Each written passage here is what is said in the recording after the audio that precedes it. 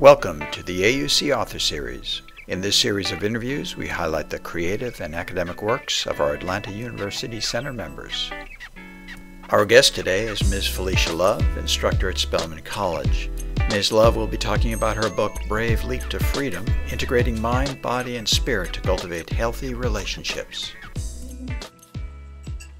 I'm Jordan Moore, reference librarian here at Woodruff Library, and I'm joined by Felesha Love, faculty member at Spelman and author of Brave Leap to Freedom Integrating Mind, Body, and Spirit to Cultivate Healthy Relationships. Thank you so much for joining us. Oh, thank you for having me. It's a pleasure. How would you describe Brave Leap to Freedom? Uh, it is a journey, and it's a journey in which I find that not only I've gone through, but people that I've talked to uh, over the years have gone through similar crises and challenges, and in that have found an opportunity to really discover who they really are. And so that's what it's really about. The Brave Leap to Freedom is taking a challenge and using it as an opportunity to really know who you are authentically so that you don't repeat those same patterns in your life. And what caused you to, to write about that? Um, well, I had a few challenges. I had a few challenges in my relationships, and, and this is very interesting because as I started doing research and, and really interviewing um, some people, I discovered that, my goodness, when we're talking about relationships, it's really all one. It's the same thing. Um, it's the same level of respect that you're looking for. It's the same level of um, understanding that you're looking for that will cultivate a healthy relationship. So, having said that, I didn't find that in my relationships.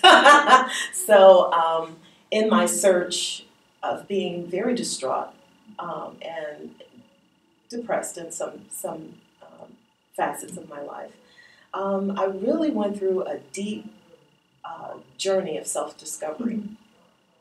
And I had to peel apart. I read everything I could get my hands on. I went to every conference I could find. Mm-hmm. Um, but I had to peel apart within myself what was missing because I couldn't articulate. I just knew mm-hmm. I was miserable. Mm-hmm. Yeah, so um, that's one reason why I said to you off camera, it's been uh, a love pray journey. I mean, mm-hmm. I lived, breathed, and ate mm-hmm. this book um, over 11 years it took me to write. Through two divorces and several career changes. And um, at the end of the day, I understood that that brave leap that I needed to, mm-hmm. to, to, take was to take a look at myself to see why things mm-hmm. were happening to me in the way that they were.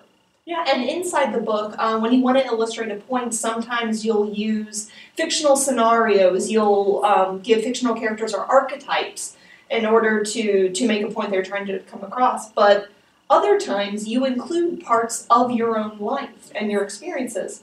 So, what was that decision process? How did you decide what you were going to incorporate in the book? Well, I wanted to, my background is as a broadcaster, mm-hmm. so I lived parallel lives between becoming a fitness pro and broadcasting. Mm. So I talk to a lot of people. Uh-huh. I have an opportunity to talk to lots of people, and uh, I have to say that um, even when I worked at nights on mm-hmm. radio, people love to call the hotline and spill their guts. Mm-hmm. And so I had an opportunity to incorporate not things from word to word, because at that time, of course, I wasn't writing the book, mm-hmm. but remembering people's journeys. And um, I used the archetypal um, structure from Carl Jung mm-hmm. and paralleled it with my journey. And I came up with fictional characters to kind of give the reader an opportunity to see whether or not they were living mm-hmm. that archetypal life. Mm-hmm. Because at the end of the day, we're all living different. We have different masks. We're not mm-hmm. the same person as we are at work right. or at home or among friends when you're in a safe space. Um, so the archetypal uh, structure gives you an opportunity to mirror yourself and mm-hmm. see, hmm, did I play this role in that circumstance? So yeah, that's the reason for that. Yeah, and oftentimes, um, when even when uh, people can see a scenario play out. They recognize if it's other people, they can recognize a crisis or they can recognize something that's not exactly right. But oftentimes, if it's our own experience, there there are some blinders. So, what is a way to overcome that and to have a better understanding of a crisis or a relationship, even if it's our own? I love that, and and that's one reason why I decided to put these little vignettes, Mhm. little snippets in the book, so that people would not be just reading about my journey. They would perhaps see a glimpse of themselves in one of these characters. Mhm. And once you do that, my saving grace was to to find a name for what I was going through. Mm. Um, and Carl Jung archetypal structure gave me that opportunity. Oh. Um, for me, the victim role stood out. Mm. I recognized I did not want to recognize this. Let me tell you, I fought this tooth and nail because I look at myself as a very strong, independent woman who, you know, has goals and has never been defined by their relationship. Right. But the other side of me was absolutely playing the victim role, Mm. and I would suppose I, I suppose mirror that part of me to others, including with jobs. There were Mm. some jobs that I was up for, didn't get an opportunity to have because I played small, Mm. and I didn't realize I was doing that until I started really studying this. And in the book, a lot of the relationships and scenarios that you play out uh, illustrate something that's that's unique to women. The idea of all the emotional labor Yeah. that is put upon women in relationships, friendships, workplaces. The idea that we are expected to take on the emotional health of any relationship, and it's underappreciated but very very taxing. Absolutely. So, what are some what are some of the effects that that can have on women, and what do women and society at large do do about that? You know, I, I love that question. I see it every day. I see it every day. I see it among um, people that I have worked with over the years. I see it with both participants, students, uh, participants, and um, volunteers. You know, with my workshops. It's it's on your face. Mm. It's I equate the emotional strain and stress that we have to depleting one's energy or Mm. spirit. Right.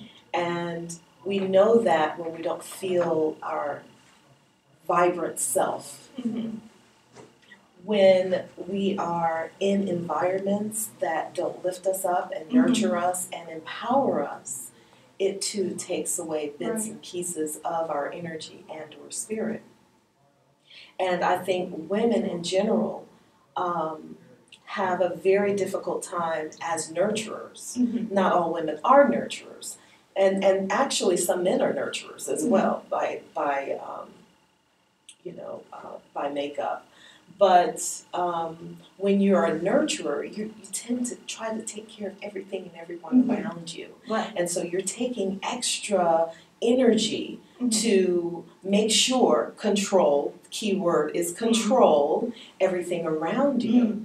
But then when you realize, my goodness, I don't have enough energy to exercise Right. or think about what is healthy to eat or Mhm. how I look when I walk out Mhm. of the door in the morning or whether or not the, the clothes that I'm wearing are lifting me up and empowering me Mm. because I've been taking care of everything and everyone else from the time I get up in the morning until I go to Yeah. sleep at night. And this book speaks to giving yourself permission to take care of yourself. Right. Notice what empowers you. Find your passion again. Yeah. And it's difficult to know what your passion is when you're giving it away to Right. everybody. I, when I do workshops, it's very interesting. I'll ask the question, What is your passion? What's your Dharma? Mm-hmm. And I explain that to be the one thing that you, one talent and gift that you have been born with, Mhm. but perhaps people have said, oh, well, that's not good enough to make a living, so, you know, that can't be it. Think of something else. When we pile all of that negative energy on top of who we really are, Mhm. the undoing is just as hard. Mm. you know, it's just as hard. Mhm. So when I ask people, what's your passion? A lot of people really don't know. And these are professionals. Mm. These are people who have got it all going on the money in the bank, the career, the car, the family if they want it, world travelers, and have no clue as to who they really are, what really makes them tick. Something that really stood out to me, and you addressed that fact that oftentimes people are so concerned about others and giving to others that it's difficult to take care of yourself, and you, and you kind of give a reverse of the golden rule that we should treat ourselves as well as we treat others. So, what are some of the barriers to that? Why why is it sometimes harder to show yourself the same kindness that you give to You others? feel like we have to be supermen and superwomen. Um, it's that that goal to be liked, to be Mhm. loved, to be accepted, and we value that much more than we do uh, ourselves Mhm. and what we're really wanting and needing.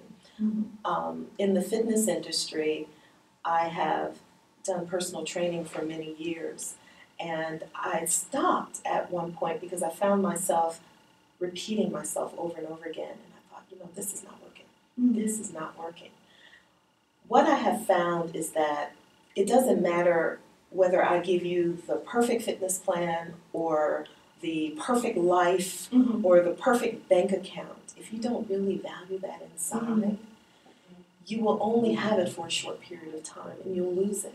Mhm. And that will sadden you too because you won't be able to figure out why why did that happen? Mhm. I had it right in the palm of my hand.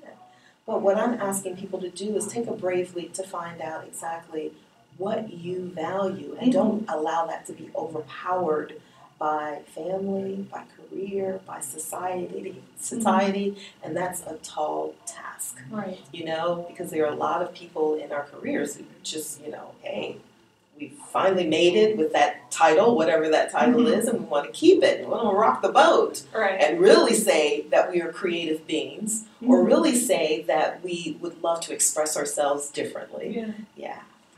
And um, in the book, you you also um, give importance to things that a person has, their assets. Where you, you say, um, in order to stand in your power, you need to focus more on the things that you love than the things that you don't. And do you feel that um, that there is too much focus out there on the things that need to be fixed and changed, and that rather than the things that a person has going for them? Right. If we if we really sit down and think about what we truly love, I think we would come down to the bare bones of love, acceptance, appreciation, Mhm. and and a platform to create. Mm. Um, but then that gets washed out by needing to have a certain amount of money for a mortgage, Mm. um, a car note, and suffering through um, workplace um, environments that are not conducive to, you know, nurturing your true self. Mhm. And so we sell ourselves out. We don't realize that, but we sell ourselves out. Mhm. Um, I had a job once where I loved the job, but it was a very toxic work environment. And I had a couple of anxiety attacks, Mhm. which I'd never had in my entire life. Um, so I thought it was a heart attack. I was like, what's really going on? Once my doctor gave me, she pres- prescribed Xanax. Okay. And I went home that day and I said, There is no way I am taking a medication to stay on the job. Right. So that's where, you know, the rubber meets the road. It's Mhm. like, do I, what do I do? There's no right or wrong. I'm not judging anyone. But for me, that was that was my stopping point to say, what do you value? What Right. is it that you truly love? How how had, how can you reclaim your power? Right. Because obviously you've lost it. Yeah, and um, the a major part of the book is fi- finding what you need in your mind, in your body, in your spirit to in order to make those healthy. What does one do? Like for um, the example you gave, when some of those things are in competition with each other, you want a certain job, Mhm. but it is so taxing on your mind that it becomes compromised. And something that always happens to me, I know that I'm going to feel better after I exercise. I know it's good for me, but I am just too Too tired. Absolutely. And that's one of the things that I kept hearing in personal training, you know? And um, so the bottom line is we have to find out what we truly value. If the job or the family Mhm. um, or the social life becomes uh, conflicted with what we really want, we have to stop Mm. and say, okay, I'm giving too much of my power away to A, B, or C. Okay. I'm going to have to take some time for myself. So that Mhm. could look like decreasing hours in your workplace Mhm. or um, to spend more time with family. And it is a juggling act. There is no quick fix. It once you fix it, this is irritating, so I need to tell everybody. Once you fix it, it'll get shuffled all over again. You have to start all over again. But the beautiful tool is to stay connected to yourself, stay Mhm. stay connected to the source of who you really are. You can Mhm. always put those pieces back together again and feel um, vibrant and alive and Mhm. happy and content Mhm. until it's time to approach the next step. So it's really just drawing back and taking some time. Um, we can't necessarily lose our families or lose our job or lose the friends that we have because we're so intertwined in them, but and they serve us to some degree. Mhm. But there is none of that if there's no you. Mm. At one point in the book, you say the worst time to try to teach someone how to communicate is when he or she is in court. And so it's the idea that you can't learn things in the moment of a crisis. That's not the best time. So, what is what are some of the um, parts of groundwork that people can do to strengthen themselves physically, emotionally, spiritually, in order that those tools can help them through a crisis? Oh, well, uh, you are so right. When you're in flight or flight mode, or Mhm. freeze, flight, flight, or freeze mode, um, it's very difficult to think. Mm-hmm. Um, it's everything that you can do to wake up in the morning and start the day Mm-hmm. with, you know, a shower and putting on clothes, much less what's to come next. And when we have that kind of anxiety, for me, I found the best thing is to honor how I'm feeling, Mm. to stop and honor how I'm feeling. If uh, if you're in flux, just all over the place, um, you can't think clearly, allow that to come to your mind Mm-hmm. own it. Um, the worst thing that we can do is to push it down below the surface because that's what makes us explode. Mm. That's what, you know, unravels us to the core. But if we can honor the fact, okay, this is very challenging and Mhm. I feel like X, Y, Z. Mm-hmm. I'm mind. My mind's not clear. I, I forgot my keys, you know, or put them in the refrigerator for that matter. Um, I forgot to pick up a child from work. I did a horrible job on a presentation, eh, you know, at the office. That's mine. Body. I haven't eaten. I'm eating maybe one meal a day um, because I'm, and, and when I do, it's while I'm working. We used to call it work lunches. Cut it out cut it out. But you know, I'm, I'm I'm not taking care of myself. I'm not drinking any water. I don't remember if I've taken any vitamins or not. So you're becoming conscious of those things that you need in order to get grounded Mm-hmm. spiritually. Uh, For me, spirit has nothing to do with relation, uh, uh, religion. Spirit for me are those things that enlighten your senses or Mhm. stimulate your senses. Mm-hmm. So um, maybe I haven't worn my favorite perfume that, that you know brings me joy every day Mhm. because I've just been in such crisis I don't Mhm. remember, or I haven't listened to music in a while. I haven't stopped to um, meditate. Mm-hmm. So when you stop in that moment to take assessment of what's going on in that crisis, you yourself will come up with the answers that you need Mhm. to get grounded. And uh, is it your opinion that if someone does those baseline things, they make sure that you know they're they are eating, drinking properly, that they are practicing self care, that in a moment of a crisis they're they're better equipped to to handle that. Absolutely. But that's the one thing, that's the first thing that goes.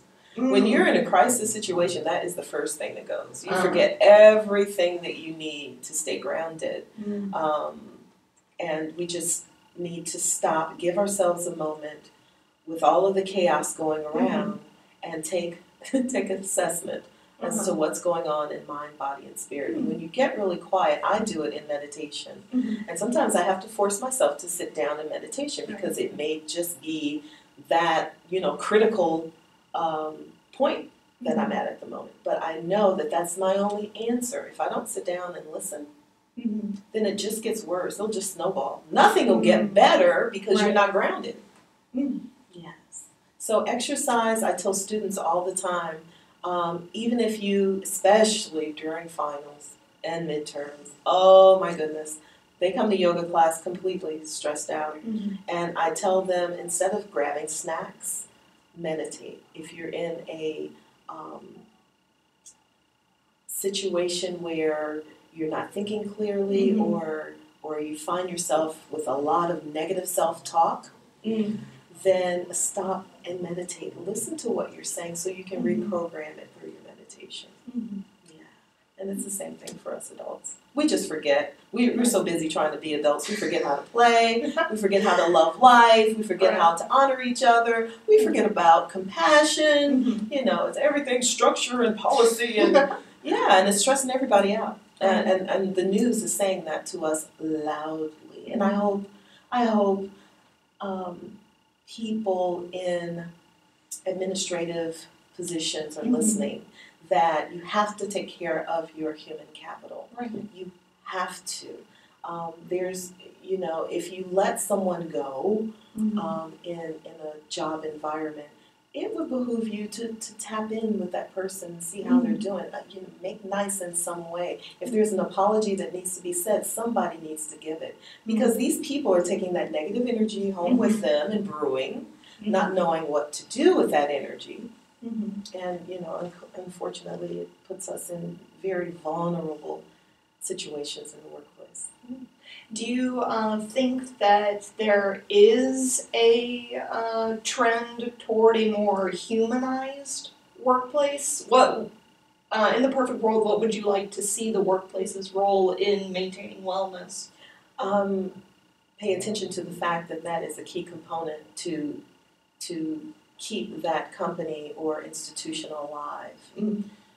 Um, the people who are making the policies and, and decisions have to be in that space of wellness so that they can be aware of what's needed for themselves and around them. Mhm. And those people who are, you know, in the workforce would have to take that same stance of knowing that wellness is the key component. So, if I come to, in the perfect world, my employer to say, I'm becoming really stressed out, Mhm. it's not, oh, well, you'll be okay. Just, you know, go have lunch and then come back for another Mhm. 12 hours because we really have this project to Mhm. do.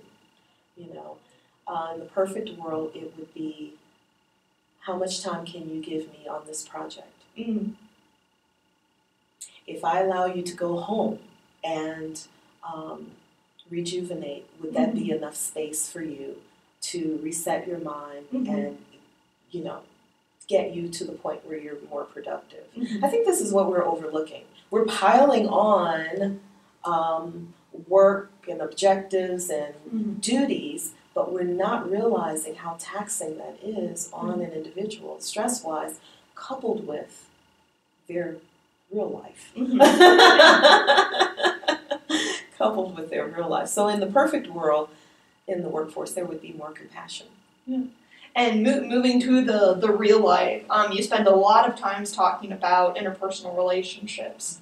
And uh, you talk about a, an unfortunate thing that can happen, a sort of ripple effect, where um, if something in the mind, body, and spirit, if something uh, negative happens to one aspect of them, it can throw off the others. And also, um, there is a ripple effect from past relationships influencing um, future ones, and also generationally, that a parent's past um, crises and trauma can have effects on the child. So, what are what are ways to to break up and to stop that ripple effect? Um, first and foremost, knowing what kind of life you're really living. If you're living your truth, or if you are living a truth that was imposed upon you mm-hmm. by someone else's idea or value, mm-hmm. or some el- someone else's fear, for that matter. Mm-hmm. Um, and that's hard to know until you get into those tight situations, crisis, challenges mm-hmm. that um, remind you this is not your authentic self. That's why this is not feeling so nice. So, what are you going to do about it? Mm. You know, that I think you know, as much as we don't like the the negative stuff, it really gives you an opportunity to find out what you really want, mm-hmm. what you will really take, and what your values really are, aside from those that have been um, instilled in you mm-hmm. for you know so long, and that has to do with society as well as our families and mm-hmm. you know whatever um, cultural structures we find ourselves in. Um, and it's going to be different for everybody. Mm-hmm. It's going to be, and that's one reason why I tried to give a lot of scenarios in mm-hmm. the book, um, because this is not, while it's a self help book, it's not a cure all. You know, you have to be on your own journey, but it mm-hmm. certainly will uh, offer a little light in, mm-hmm. you know, in your situation. Yeah. And one of the um, more serious situations you talk about, and something that is unfortunately um, prevalent in a lot of situations, is domestic abuse. Yes. And you talk about how while society recognizes and tries to combat the physical uh, damages of domestic abuse, that oftentimes other side effects, um, psychological damage, financial damage, those go unnoticed. So, again, talking about a perfect world, what are some of the things that you would like to see in society to combat um, any of the damages that, that sufferers of domestic abuse face?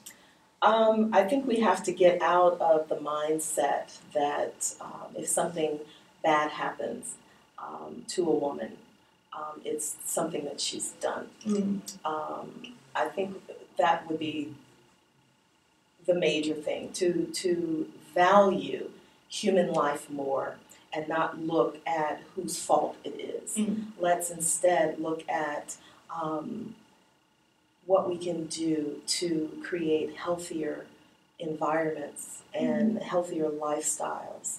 Um, I know that uh, college campuses have the same unfortunately, the same issue mm-hmm. with um, violence, um, sexual violence mm-hmm. on campuses. And I sit in a lot of those uh, meetings, mm-hmm. and I'm finding that same thing over and over again, even with some of the domestic violence meetings that I sat in years ago, mm-hmm. that women don't want to talk about it because they feel like it's their fault. Mm-hmm. And they feel like even if they came out and um, discussed it, that someone would either judge them or not believe them. Mm. So until we create a safe space for people to to be honest with what happened mm-hmm. and not judge them, I think we're we're going to still see that cycle continue. Mm-hmm. On the other side of it is those people who feel empowered by hurting others. Mm-hmm. And those tend to be the ones that are dancing in fear and rejection, and they impose that feeling of power and control over another mm-hmm. by abusing them in some way, either sexually or emotionally. Um, emotional abuse is huge, and even in, in the workplace, they go mm-hmm. hand in hand. So, when I talk about domestic, domestic violence, I immediately think about all violence, mm. uh, whether it is physical, emotional, financial. Mm-hmm. Um, you know, it, it all takes the same amount of stress and energy away from another. So, again, in the perfect world, there would be more compassion. And mm-hmm. I think in that, in the seat of that compassion, we would come up with some um, plans Mhm. and policies that speak to wellness as opposed to, you know, the judicial right or wrong um, kind of way of looking at things. Where do you think that comes from? The i the idea that so much attention in an instance of um, either domestic abuse or even sexual violence is so focused on who's at fault. Yeah, because I mean, at, at the end of the day, um, someone wants somebody to go to jail, Mhm. and someone wants somebody to pay for what they've done. Mm-hmm. I get that, but we also have to figure out what what happened in this person's life to make them feel like it's okay. And we've got a lot of things in our society that send us green lights that you know these negative um, approaches are okay, and they Mhm. are not. And I think if we were to start, even in elementary school, um, talking more about communication and talking more about sexuality and talking more about um, being able to uh, debate Mm. is a huge thing. You you know, just having a debate club is great, but it's not going to serve you, you know, serve the masses. And I think if we pay attention to that and grow that concept throughout high school and even college, please Mhm. don't forget it in college because they forget. Yeah. I'm here to tell you they forget. um, and so they need those same kinds of um, pillars of support Mhm. to fall back on. Uh, so when they hear music or they see movies or whatever the case may be, you know, that's giving them the green light to Mhm. say, okay, I'm going to act out in this way, Mhm. um, there's a foundation to fall back on, Mhm. you know? What is one piece of advice that you would want someone to know if they are in an abusive relationship? Mm, yes. For me, that was major. Um, I lived those relationships uh, on several occasions and did not know what was going on. Um, I think it's important to understand the difference between a healthy relationship and a, and a toxic relationship, Mhm. first and foremost. And that will give you a guideline. Um, that, that'll give you an opportunity to rethink some of the things that may have happened to perpetuate that um, action toward you.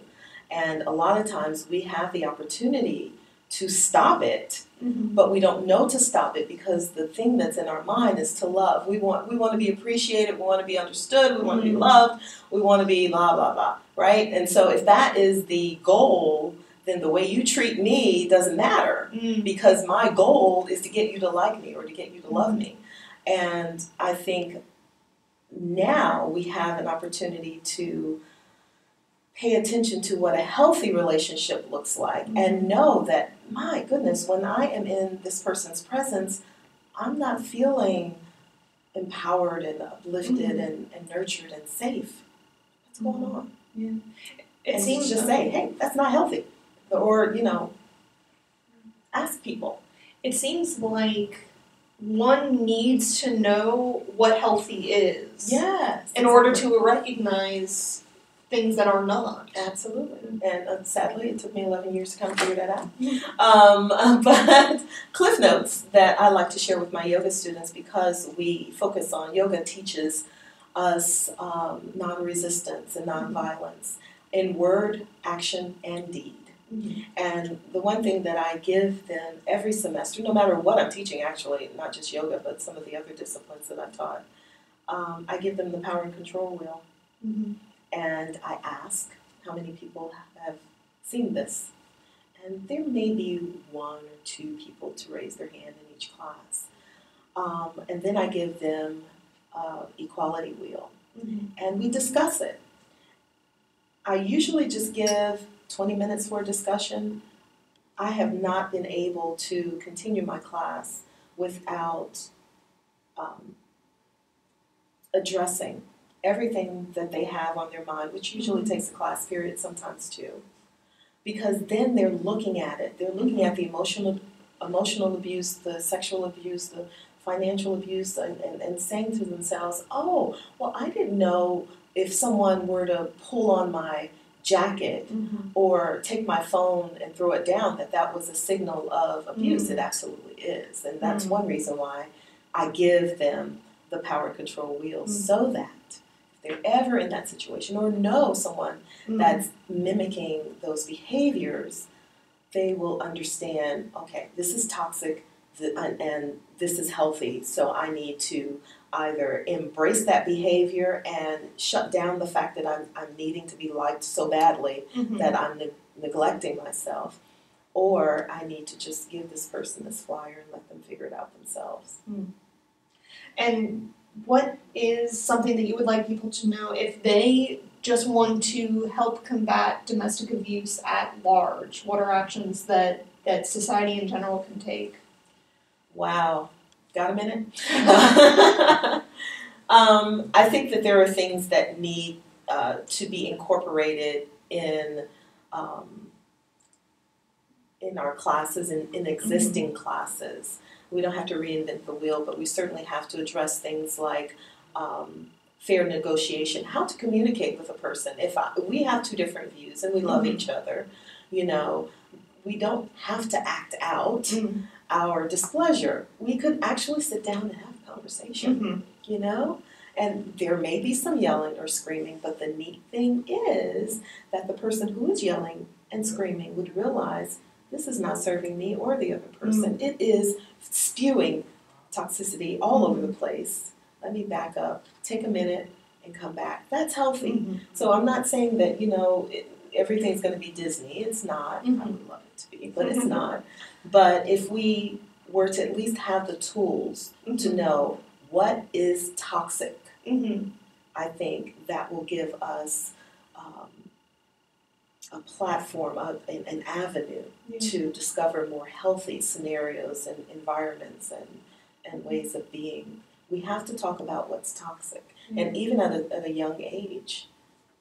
Yeah, and and the reverse side of that, you were talking about the idea that there there are toxic relationships, but there are also healthy conflicts. Yes. That it isn't one or the other. Absolutely. We just need to recognize the toxic relationships. Even, for instance, if you can imagine a, a supervisor coming in who, you know, is on fire mentally because Mhm. somebody has them on fire and Mhm. they project that on you, whatever fears or anger or anxieties that they have, they project it on their, you know, um, um, employer, uh, employees, Mhm. and that same energy carries through throughout from the meeting to the end of the product Mhm.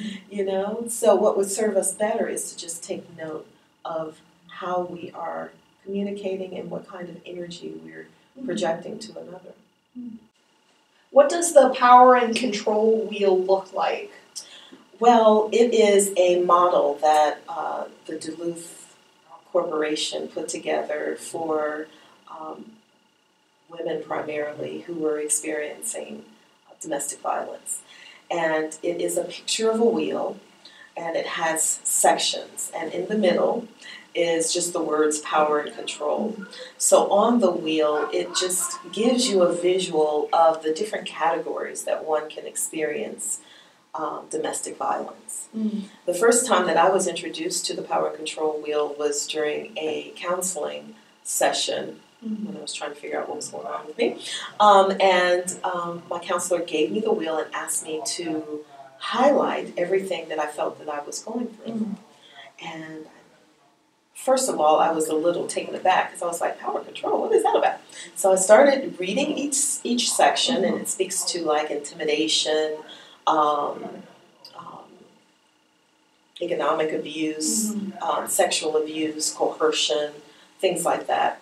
And I started highlighting, and my wheel got lighter and more and more yellow, Mhm. and I got a little nervous. Then he took it away and he gave me another sheet and asked me, What um, role did I feel I was playing uh, when I am communicating with another? Mm.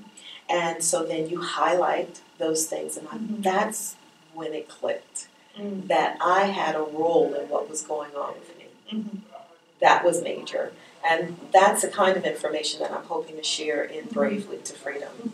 Um, the power control wheel you can Google. Mhm. Um, I have my students Google it. it they there are so also um, organizations that have put out uh, power and control wheels conducive to teenagers, which I think is wonderful because it speaks to um, excessive texting. Mhm. Um, because now your phone is your personal space, and I tell my daughter all the time, you do not have to have to answer every single tweet or text message. Right. It consumes your life. So that's another way of abuse if a person can't get you, you know, on the phone or or personally. Yeah.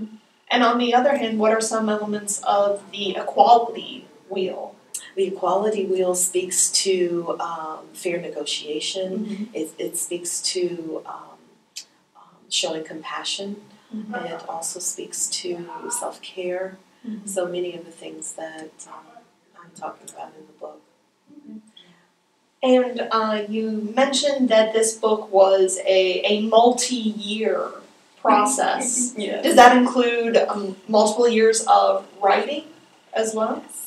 The book started out as a personal journal, Mm-hmm. a woe is me kind of thing. And um, as I grew and continued to research and work on myself, I realized let me talk about the part that I play in it. Let me find myself in all of this. Mhm. And it really took a brave leap to say that I could have a part in this process Mhm. of healing or staying in a toxic relationship. I had a choice. So my choice is to heal. How do I do that? Mhm. And, and I think that's probably the reason why it took me so long to write because I, I lived it. And I tell my students all the time, I won't ask you to do anything I haven't done or cannot do now. Mhm. Do you feel that the writing process um, helped you with the sense of naming something and also owning it? Absolutely. You said it in a nutshell. Mm. Being able to name that there is a difference between power and control. Mhm. There's a difference between healthy and wellness. Mhm. There's a difference between self care and living in a toxic environment. Mhm. Having those names gave me the freedom to make things better. And finally, we want to know what's coming up in the future. Uh, do you have any projects happening now? I do, I do. I have lived parallel lives all my life, so why stop now? Um, by day, I'm a yoga instructor at Spelman.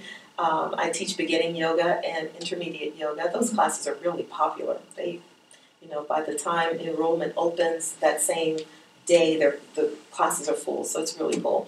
Um, but I am working on a TV show that will air in Atlanta, Cincinnati, Los Angeles, and Seattle. I'm very excited on Comcast. And it's called My Spirit Fitness TV.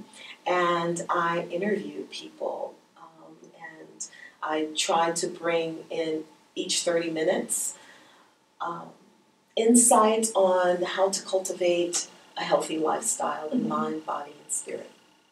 Excellent. Felesha, thank you so much for joining us, and thank you for watching. Thank you. It's a Pleasure.